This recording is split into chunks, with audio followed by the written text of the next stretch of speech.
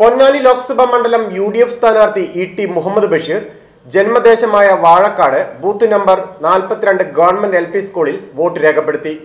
രാവിലെ തന്നെ ജന്മദേശമായ വാഴക്കാട് പഞ്ചായത്തിലെ ബൂത്ത് നമ്പർ നാൽപ്പത്തിരണ്ട് ഗവൺമെന്റ് എൽ പി സ്കൂളിൽ വോട്ട് രേഖപ്പെടുത്തി. മലപ്പുറം പാർലമെന്റ് മണ്ഡലത്തിലായിരുന്നു ഇ ടിയുടെ വോട്ട്. തികഞ്ഞ ആത്മവിശ്വാസമാണ് ഉള്ളതെന്നും പൊന്നാനിയിൽ മികച്ച ഭൂരിപക്ഷത്തോടെ വിജയിക്കുമെന്നും വോട്ട് ചെയ്ത ശേഷം ഇ ടി പറഞ്ഞു. ഇവിടെ Mappuram G M L P സ്കൂളിൽ നാൽപ്പത്തി രണ്ടാം നമ്പർ ബൂത്താണ്. ഈ ബൂത്തിൽ ഞാനിപ്പോൾ വോട്ട് ചെയ്തു.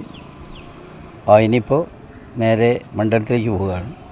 അവിടെ എല്ലാം പല കേന്ദ്രങ്ങളായി പോയി. ഞങ്ങൾ ചീഫ് ഏജന്റ് വേറെ വഴിക്ക് വരുന്നുണ്ട്. ഞാൻ ഈ വഴിക്ക് പോകുന്നുണ്ട്. എല്ലായിടത്തും ഒന്ന് ടച്ച് ചെയ്യും എന്റെ എല്ലാ അസംബ്ലി മണ്ഡലങ്ങളിലെയും ഒന്നോ രണ്ടോ പോളിംഗ് സ്റ്റേഷൻ നോക്കി നോക്കി എല്ലാം കഴിഞ്ഞതിന് ശേഷം വൈകുന്നേരം തിരിച്ചെത്തും.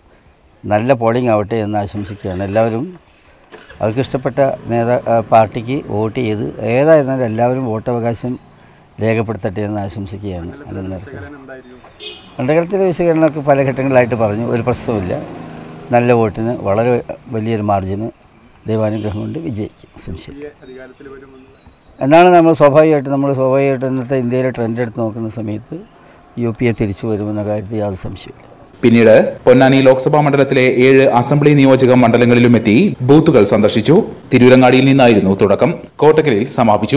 പ്രവർത്തകരുമായി നേരിൽ സംസാരിച്ചും ഫോണിലും പ്രവർത്തനങ്ങൾ വിലയിരുത്തി. മണ്ഡലത്തിലെ വിവിധ ഭാഗങ്ങളിൽ നിന്നുള്ള തിരഞ്ഞെടുപ്പ് വിവരങ്ങൾ അപ്പോൾ തന്നെ പ്രവർത്തകർ അറിയിക്കുന്നുണ്ടായിരുന്നു. പ്രചരണ രംഗത്തെ ആവേശം വോട്ടിംഗിലും പ്രതിഫലിച്ചതോടെ തികഞ്ഞ ആത്മവിശ്വാസത്തിലാണ് E T Muhammad Basheer.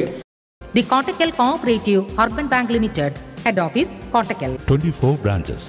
Bound to generation since 1937. Seen at Silts and Saris, Metro Plaza, Thiru Road, Kottakal.